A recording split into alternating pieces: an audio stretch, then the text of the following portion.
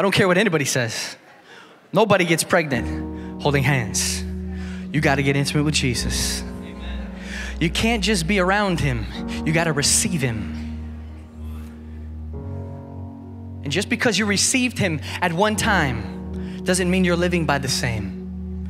This life is a life of receiving him. You cannot get pregnant by telling yourself you are pregnant. Go ahead and try it. I'm pregnant, I'm pregnant, I'm pregnant, I'm pregnant, I'm pregnant. You'll never get pregnant. And this is what we got with positive confessions. And just speak it out, man. Just speak it out. You'll get it. I'm holy, I'm holy, I'm holy. No, no, no. Listen. It's not going to work. Com- try to convince yourself as much as you want. You need intimate communion with Jesus. You need His presence installing His voice, and you will change. See, the presence satisfies you, but the word changes you. Because once that thing that created the world enters into you, it will affect you forever. He spoke and it was. When He speaks to you, you become. God is far more interested in trying to get you to become something than do something. Because when you become it, it's effortlessly flowing out of you and you just are. And this is what Jesus wants to be the firstborn among many brethren. He's bringing many sons to glory. You know what else? You can't get pregnant by desire. Just because you want to be pregnant doesn't mean you can get pregnant like that. There's a lot of people longing and longing and longing for Jesus. I'm just so hungry for Jesus. I'm so hungry. Well, go get alone, get in the sweetness of his blissful presence and let him speak to you, and you'll become pregnant with his, his realities. How many times have you met someone like that? They're so fervently hungry, but they never change. Nobody gets pregnant by desire. Nobody gets pregnant by telling themselves they're pregnant. Listen, I can memorize what to expect when expecting. Anybody know what that book is? 500 page heavy book about what to expect when you're expecting. You can go ahead and memorize that book, you still won't get pregnant. And you got people like crazy memorizing the scriptures and trying to get pregnant with God's purposes to birth and the earth by reading the Bible itself. No, no, no, no, no. The outer shell of the scriptures must be cracked for that which is on the inside to come out. That's what you need. That's what I need every single day of my life. And if a day goes by when I don't have it, I feel like I'm dying.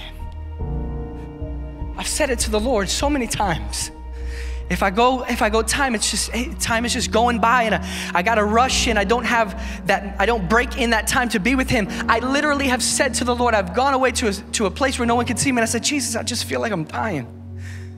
I just, I literally feel like life is leaving me, because man shall not live by bread alone, but by every word that proceeds out of the mouth of God not proceeded, but it's coming and, and always is coming.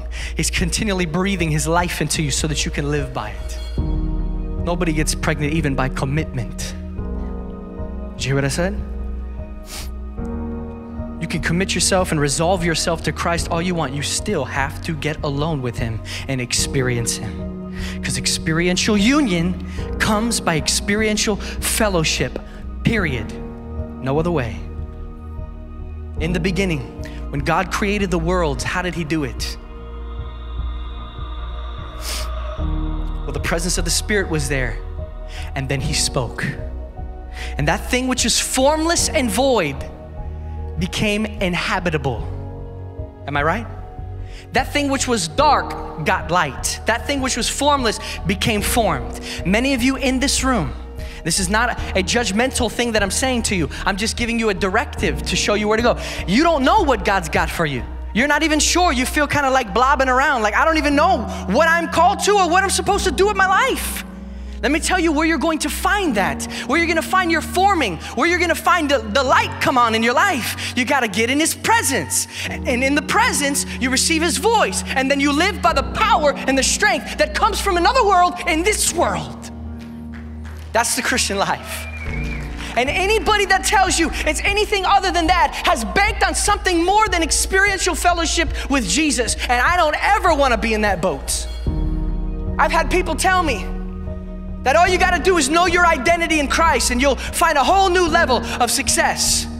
All you got to do is recognize grace. You have to recognize these things, and then you'll get to a whole new level. And God, no, no, no, no, no. I'm not banking on anything but my experience with Jesus. If I'm gonna put all my eggs in one basket, you know what it's gonna look like? It's gonna look like His presence and His voice. And if it ain't there, I don't want it.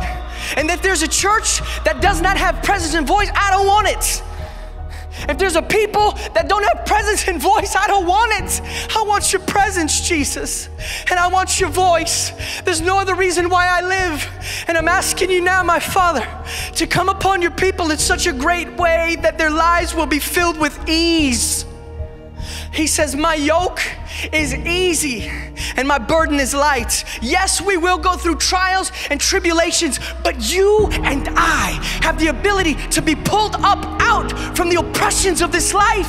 If we don't have that, what's salvation? If you don't have the ability to get removed out from underneath the influence of the oppressions of this life, what do you have? You don't have anything. You got nothing without it. Nothing without it.